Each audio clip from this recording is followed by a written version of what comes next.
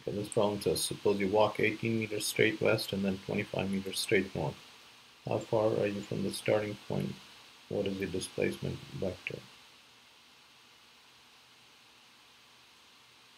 What is the direction of your displacement? Assume x is horizontal to the right.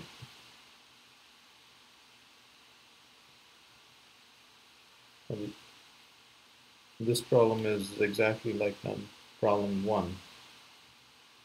So I guess I won't solve this. This is uh, hmm.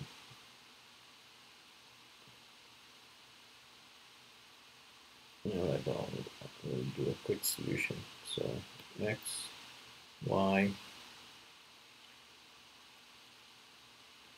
we'll call this A1, this a2. Okay. So A1 is minus 18i plus 0j and A2 is 0i plus 25j. And so the resultant, which is A1 plus A2, is minus 18i plus 25 J, And for the magnitude and see the first problem.